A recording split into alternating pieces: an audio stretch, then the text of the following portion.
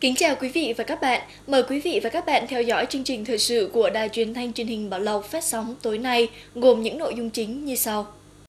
Hội nghị trực tuyến tổng kết công tác bảo vệ rừng năm 2015.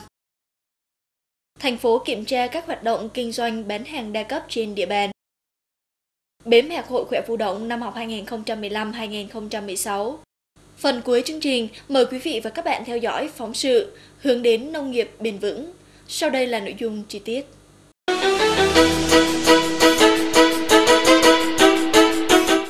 Sáng ngày 6 tháng 1, Ủy ban nhân dân tỉnh tổ chức hội nghị trực tuyến tổng kết công tác bảo vệ rừng năm 2015. Tại đầu cầu Bảo Lộc, đại diện thành phố, hạt kiểm lâm và phường xã liên quan đã dự hội nghị tại hội trường A, Ủy ban nhân dân thành phố.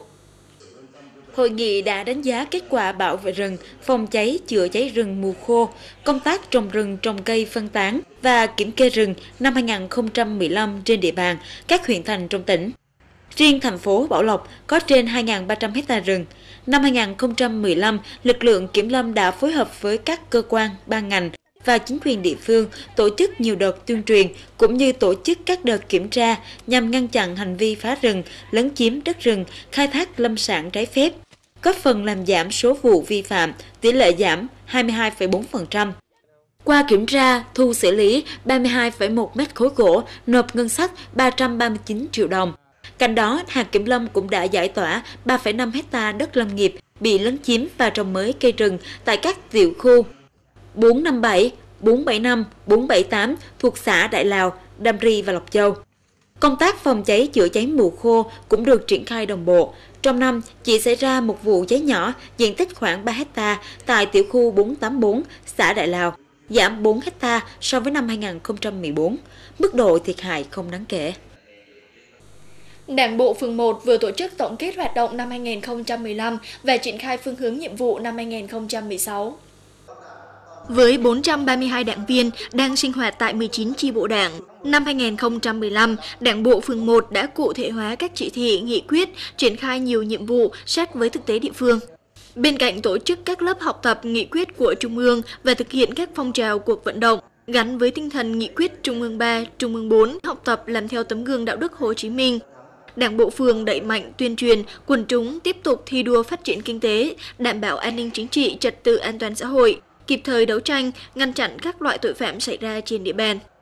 Tổng kết đánh giá phân loại cuối năm, 44 đảng viên đủ tư cách hoàn thành xuất sắc nhiệm vụ, tỷ lệ 12,9%, 80% đảng viên hoàn thành tốt nhiệm vụ, 3 tri bộ đạt danh hiệu trong sạch vững mạnh tiêu biểu.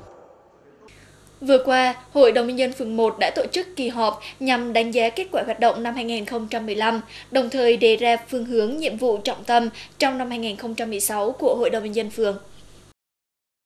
Năm 2015, hoạt động của Hội đồng Nhân dân phường đã có nhiều chuyển biến, phát huy vai trò là cơ quan quản lý nhà nước ở địa phương. Tạo không khí thi đua góp phần thúc đẩy kinh tế xã hội, phát triển an ninh chính trị và trật tự an toàn xã hội được giữ vững. Để chủ động xây dựng lộ trình giai đoạn 2013-2018 trong việc thực hiện các tiêu chí xây dựng phường phát triển toàn diện. Năm 2015, phường duy trì mức tăng trưởng ngành thương mại dịch vụ 11,6%, thu ngân sách nhà nước trên địa bàn ước đạt 100% kế hoạch. Phát huy kết quả đạt được, nhiệm vụ trọng tâm trong năm 2016 của Hội đồng Nhân dân phường 1 vẫn là bám sát những nội dung trong nghị quyết kế hoạch chương trình giám sát năm. Trong đó chú trọng việc phối hợp công tác giới thiệu, hiệp thương nhân sự, đảm bảo đúng cơ cấu, thành phần theo quy hoạch dưới sự chỉ đạo của đảng ủy về công tác nhân sự địa phương để tổ chức thành công bầu cử Quốc hội khóa 14 và Hội đồng Nhân dân các cấp nhiệm kỳ 2016-2021. Vừa qua, đoàn kiểm tra liên ngành thành phố gồm Công an, Phòng Kinh tế, Phòng Y tế, Tri Cục Thuế và đội quản lý thị trường số 3 đã tổ chức kiểm tra việc tuân thủ theo pháp luật hoạt động kinh doanh bán hàng đa cấp tại Liên minh tiêu dùng Vietnet cơ sở Bảo Lộc. Tại cơ sở, đoàn đã kiểm tra các quy định về đăng ký kinh doanh, hoạt động bán hàng đa cấp, xuất xứ nhãn mát các loại hàng hóa đang trưng bày, hồ sơ công bố chất lượng liên quan, chứng từ hóa đơn, sổ sách đối chiếu của cơ sở. Trong quá trình kiểm tra, đoàn đã phát hiện và thu giữ lô hàng phân bón lá cà phê để gửi đi xác minh nguồn gốc tiếp tục điều tra làm rõ. Đây là công tác của lực lượng liên ngành nhằm tăng cường chống nhập lậu và buôn bán hàng giả, hàng nhái kém chất lượng.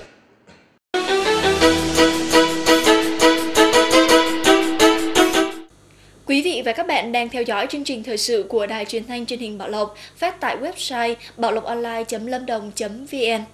Thưa quý vị và các bạn, Hội Liên hiệp Phụ nữ thành phố vừa tổ chức hội nghị tổng kết công tác hội và phong trào phụ nữ năm 2015 và triển khai hoạt động năm 2016. Đồng chí Dương Kim Viên, Phó Bí thư Thường trực Thành ủy đã đến dự.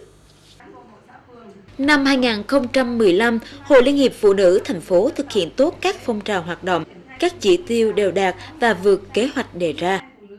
Trong các phong trào hoạt động của hội như nuôi heo đất tiết kiệm được hơn 303 triệu đồng và gần 2.000 kg gạo, giúp 61 hội viên nghèo. Vận động hỗ trợ xây dựng 4 máy ấm tình thương với số tiền 255 triệu đồng. Tiếp tục triển khai và xây dựng các mô hình hỗ trợ sản xuất, vay vốn phát triển kinh tế, dạy nghề và giới thiệu việc làm tại các chi hội. Ngoài ra, hội còn tạo điều kiện cho gần 4.200 lượt hội viên vay hơn 95 tỷ đồng, nguồn vốn ngân hàng chính sách để phát triển sản xuất, cũng như tiếp tục khai thác có hiệu quả nguồn quỹ hội cho hội viên vay. Trong năm, có 30 hội viên đăng ký thoát nghèo. Cùng với các hoạt động trên, các cấp hội còn tiếp tục xây dựng các câu lạc bộ như Gia đình hạnh phúc, Gia đình 503 sạch, công tác nhân đạo từ thiện và đền ơn đáp nghĩa bằng các hoạt động thăm hỏi hội viên ốm đau, gia đình hộ nghèo, trao học bổng cho học sinh nghèo vượt khó học giỏi. Năm 2016, Hội Liên hiệp Phụ nữ thành phố tiếp tục triển khai, nâng cao chất lượng các phong trào thi đua yêu nước và thực hiện 6 nhiệm vụ trọng tâm hỗ trợ phụ nữ phát triển kinh tế, bảo vệ môi trường, xây dựng gia đình ấm no, hạnh phúc, xây dựng tổ chức hội ngày càng vững mạnh. Sáng ngày 8 tháng 1, Liên đoàn Lao động thành phố tổ chức hội nghị đánh giá kết quả nửa nhiệm kỳ thực hiện nghị quyết Đại hội Công đoàn lần thứ 5, nhiệm kỳ 2013-2018. Qua 3 năm thực hiện nghị quyết Đại hội 8 Công đoàn tỉnh Lâm Đồng, nghị quyết Đảng bộ thành phố, Công đoàn thành phố Bảo Lộc đã có nhiều cố gắng trong việc thực hiện tốt vai trò của tổ chức công đoàn trong xây dựng đội ngũ công nhân lao động và giai cấp công nhân, đại diện bảo vệ lợi ích cho công nhân viên chức lao động, tuyên truyền giáo dục và tổ chức các phong trào, góp phần thiết thực vào việc hoàn thành các chỉ tiêu thi đua hàng năm và các chỉ tiêu kinh tế xã hội của địa phương. Thông qua hoạt động vay vốn của Quỹ Quốc gia giải quyết việc làm đã hỗ trợ 72 lượt vay với số tiền gần 160 triệu đồng, hỗ trợ xây dựng 25 căn nhà cho công nhân viên chức lao động nghèo, tổng trị giá trên 300 triệu đồng từ chương trình mái ấm công đoàn, phối hợp hòa giải 8 vụ tranh chấp lao động tập thể, thăm và tặng quà công nhân lao động nghèo và các khu nhà trọ công nhân. Thông qua các hoạt động cụ thể của mình, vai trò của tổ chức công đoàn đã được nâng lên, tạo được uy tín đối với các doanh nghiệp và sự ủng hộ của đông đảo cán bộ công nhân viên chức lao động. Dịp này, các tập thể và cá nhân có nhiều đóng góp cho sự nghiệp công đoàn đã nhận được bằng khen giấy khen của Liên đoàn Lao động tỉnh và thành phố.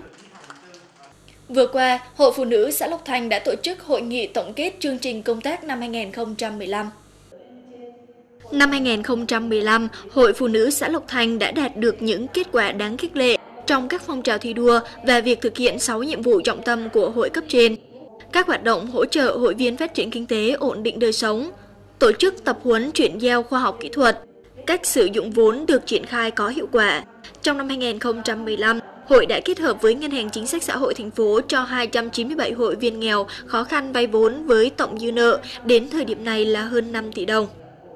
Năm 2016, Hội Phụ nữ xã Lục Thành tiếp tục triển khai các hoạt động về giải quyết việc làm, xóa đói giảm nghèo, hướng dẫn chị em thực hiện các luật, hôn nhân gia đình, bảo vệ trẻ em, phòng chống tội phạm, luật giao thông đường bộ, giúp phụ nữ có điều kiện tham gia vào các hoạt động của xã hội. Sáng ngày 8 tháng 1, Phòng Giáo dục thành phố đã tổ chức bế mạc Hội khỏe phù động thành phố Bảo Lộc lần thứ 9 năm 2016. Trải qua 4 ngày thi đấu sôi nổi với 300 vận động viên đến từ 13 trường tiểu học, trung học cơ sở trên địa bàn, Hội khỏe phù động thành phố Bảo Lộc lần thứ 9 đã diễn ra thành công tốt đẹp. Theo đánh giá của ban tổ chức, ở 8 bộ môn thi đấu là cờ vua, bóng đá, bóng truyền, bóng bàn, cầu lông, kéo co, điền kinh và đá cầu. Các trường tham gia đều có sự chuẩn bị chu đáo, các vận động viên thi đấu nhiệt tình sôi nổi.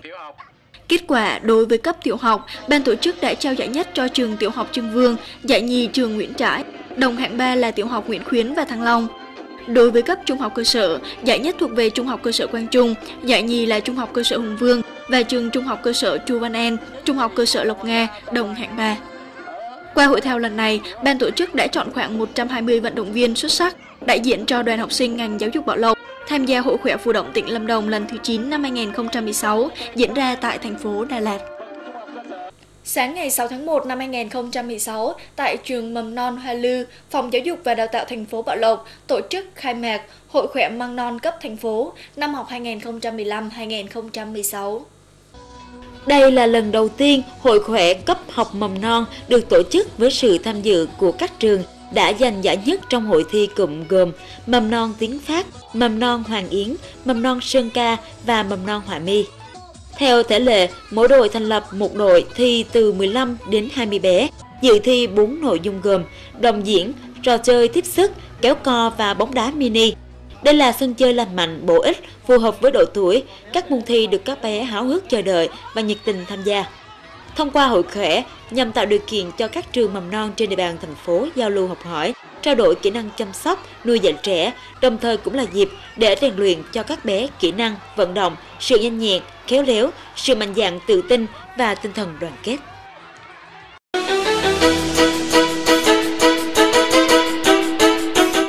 Quý vị và các bạn đang theo dõi chương trình thời sự của Đài Truyền thanh Truyền hình Bảo Lộc. Thưa quý vị và các bạn, để thực hiện đạt mục tiêu phát triển nông nghiệp công nghệ cao, năm 2015, qua công tác khuyến nông, nông hộ tại Bảo Lộc đã áp dụng nhiều biện pháp canh tác, trong đó ưu tiên sử dụng các dòng phân vi sinh nhằm hướng đến nền nông nghiệp bền vững.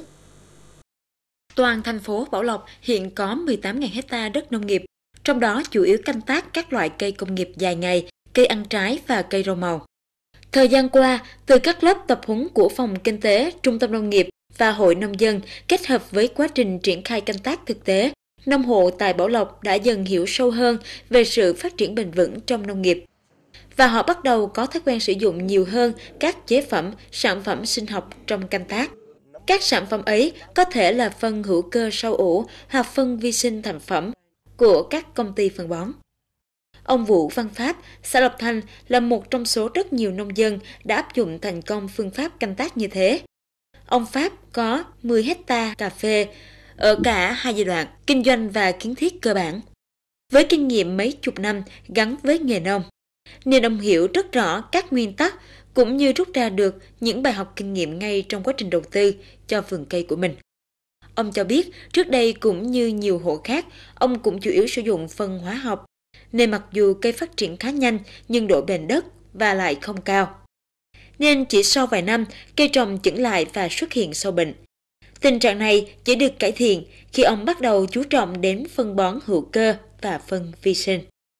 Không chỉ sai cành triệu quả và không còn xuất hiện hiện tượng rụng trái non, nâng năng suất lên từ 7 đến 8 tấn trên một hecta. Mà nhìn về độ bền đất cũng rất khả quan, bề mặt đất tơi xốp, nhiều mùn đen và vi sinh vật có lợi. Tôi cũng là người canh tác ở cái ờ, cây cà phê này lâu năm và chúng ta thấy là ở cái địa bàn của chúng ta là chúng ta đang sống trong cái nền đất là nền đất hóa học. Thì nền đất hóa học thì nó không có hiệu quả. Mà bây giờ chúng ta bỏ quên cái phần vi sinh. Thì cái này là nếu mà uh, trong thời gian tới này là chúng ta cần tăng cường cái vấn đề vi sinh bỏ cho cây trồng thì nó sẽ châu nó sẽ khắc phục được cái mà nghèo nàn đất và nó sẽ tăng tăng cường được cái đề kháng cho cây sâu bệnh không chỉ sử dụng trong canh tác cây công nghiệp, phân vi sinh và các loại phân hữu cơ, cũng được sử dụng trong canh tác cây ngắn ngày và cây rau màu như một biện pháp hữu hiệu để giữ độ bền cho đất. Hiện tại bây giờ là khoảng chừng 40% ra các hộ gia đình là không dùng cái phân phân phân hữu cơ mà chưa qua xử lý. Còn hầu như bây giờ là làm phân mà bây giờ người ta phân vi sinh người ta xử lý rồi. Nữa thì khi bà con nhận thấy thứ nhất là bây giờ cái phân kia đấy sản xuất ra thì nó cái mang cái mầm bệnh nó rất là nhiều. Thứ hai nữa là môi trường. Thế đến khi mà bây giờ có một số các loại phân mà người ta ừ, bán sẵn trên thị trường nó rất hiệu quả mà giá thành nó cũng phải chăng? Thế cho nên là bà con cũng đang chuyển đổi dần dần. Trong cái điều kiện thực hiện các cái quy trình kỹ thuật thì cái vấn đề mà thực hiện các cái phân bón hữu cơ để bón cho cây trồng thì bà con cũng rất có quan tâm chú ý. À, vì bón cái phân ờ, hữu cơ vi sinh và các loại phân hữu cơ khác thì sẽ làm cho cái à, chất đất độ phi tăng được cái độ phi đảm bảo được cái phát triển à, của cây sinh trưởng cũng như là tăng cái hệ sinh vật trong đất à, từ đó mà làm cho cái vấn đề cây sinh trưởng và phát triển bền vững. Phát triển nông nghiệp chất lượng cao và bền vững là định hướng của Bảo Lộc trong giai đoạn 2015-2020 và những năm tiếp theo. Trong đó, quy hoạch ngành trồng trọt chiếm 50% trong cơ cấu nông nghiệp, nâng giá trị sản phẩm thu hoạch đạt 150 triệu đồng trên một hecta. Để thực hiện đạt mục tiêu này thì thiết nghĩ bên cạnh các biện pháp chọn cây giống năng suất chất lượng, chuyển đổi giống cây trồng, đầu tư thăm canh thì việc nghiên cứu, tìm hiểu, ưu tiên chọn lựa những sản phẩm phân bón thân thiện với môi trường cũng là một biện pháp cần thiết. Chương trình thời sự của Đài Truyền thanh Truyền hình Bảo Lộc xin được kết thúc tại đây. Để theo dõi lại nội dung chương trình, quý vị và các bạn có thể truy cập website baoloconline.lâm.đồng.vn. Cảm ơn sự quan tâm theo dõi của quý vị và các bạn. Kính chào tạm biệt và hẹn gặp lại.